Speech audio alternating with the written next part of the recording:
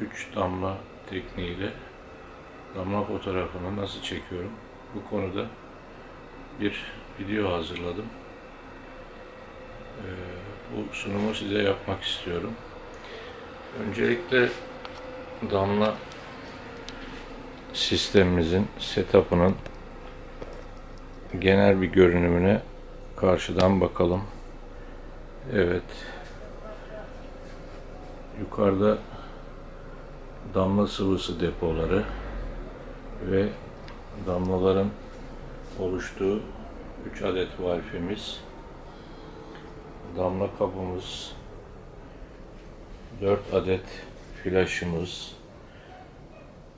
arka plan siyah çekildiği için siyah bir e, kartonumuz arka planda ve flash ışıklarını defüze eden plexiglasslarımız. Burada makinamızın konumu. Makinamızın üzerinde Sigma 150 mm'lik makro lens bulunmakta. Ve tetikleyicimiz. Tetikleyici valfleri gördüğünüz gibi 3 adet valfi flashları ki flashları bir radyo alıcı vericiyle buradan tetikliyor ve gördüğünüz gibi aynı zamanda fotoğraf makinesinde tetikliyor yani trigger'ın buradaki en önemli görevi flashları makineyi ve valfleri organize ederek uygun zamanda çalıştırmak ve fotoğrafı çekmek. Bu olmadığı müddetçe milisaniyeler içinde oluşan bu fotoğrafı çekmek gerçekten mümkün olmuyor.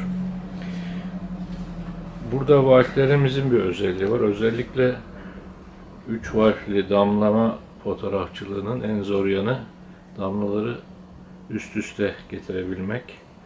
Ee, bu sıvının davranışı gerçekten e, farklıdır.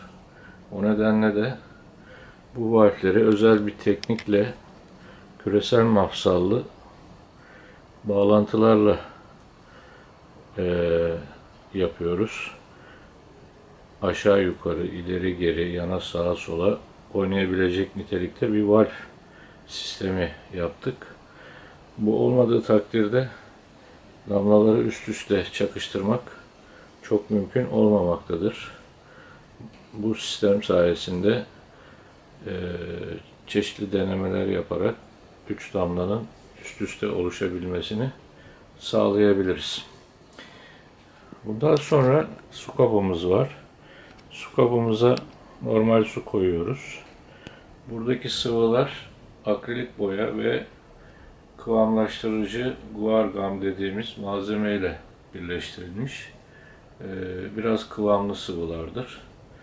Akrilik boya mat bir boya olduğu için e,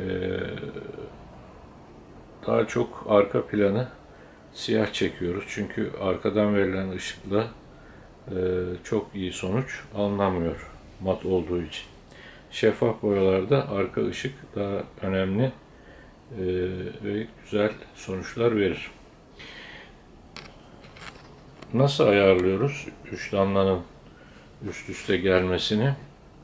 Şimdi bunun için önce orta damlanın yani e, yerini buluyoruz. Bunun için bir aparatımız var. Bir vidadan oluşturulmuş. Bu aparatı gördüğünüz gibi sıvının orta noktasına koyuyoruz. Ve tetikleyicimizi çalıştırarak damlanın düştüğü yolu ve yeri tespit ediyoruz. Evet, şu anda biraz sağa düşüyor.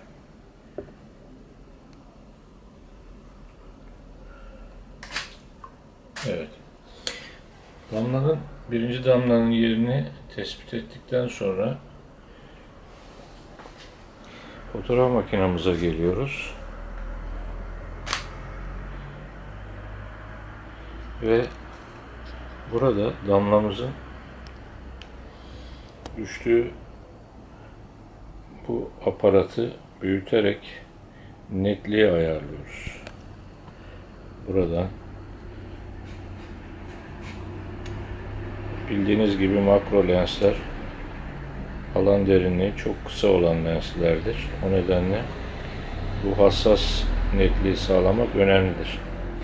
Evet bu şekilde ayarladıktan sonra artık diğer damlaları da aynı şekilde bu netliği sağladığımız noktaya düşürerek e, birlikte diğer damlaları şu şekilde vakitleri oynatarak sağa sola yana aynı yere düşmesini sağlıyoruz. Aynı yere düşmesi tam ayarlandığı anlamına gelmiyor. Çekimler esnasında bunu tekrar değiştiriyoruz. Evet. Bunu da ayarladıktan sonra bak, makinamız, flaşlar hepsi hazır. Makinamızın ayarını ben e, F değerini 18 e, bir saniye gibi bir süre koyuyorum gecikme olduğu için enstantanesini. Çünkü burada fotoğrafı çeken flaşlar enstantane hızının bir önemi yok bu sistemde. O nedenle daha geniş tutabiliyoruz enstantane hızımızı. Bu ayarlar manuel modda e, ayarlanmıştır. ISO'yu da yaklaşık 200 gibi yapıyoruz. Evet şimdi makinamız ve damla sistemimiz çekime hazır. Aparatımızı buradan alıyoruz. Çünkü damla bunun üstüne düşer. Evet biraz su ilave edelim. Çünkü suyu azalmış. Dolu olması önemli. Evet. Şimdi makinemizi açıyoruz. Flaşlarımız çalışıyor, makinamız çalışıyor ve tetikleyiciyi tetikleyen bir uzaktan kumandamız var. Ayarlarını da buradan yapıyoruz ve çalıştırıyoruz. Evet. Şu anda ışık fazla olduğu için tam bir netlik görünmüyor. Evet. İlk